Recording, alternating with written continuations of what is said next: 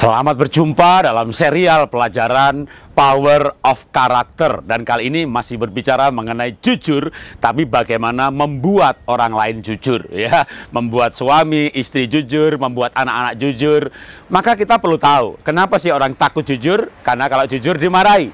Maka cara membuat orang lain jujur adalah jangan membuat dia takut untuk berbuat jujur. Maka jangan bereaksi berlebihan kalau kepada anak ya jangan marah berlebihan. Kalau kepada pasangan ya jangan marah berlebihan. Berawal karena jujur dan ayah yang memberi kesempatan kepada anak bercerita, bijaksana, tidak marah berlebihan, membuat anak berani jujur. Hal yang sama juga akan membuat pasangan berani jujur kalau kita bersikap bijaksana di dalam menghadapi sebuah kejujuran walaupun isi kejujuran itu tidak menyenangkan tapi kita tetap bersifat bersikap uh, bijaksana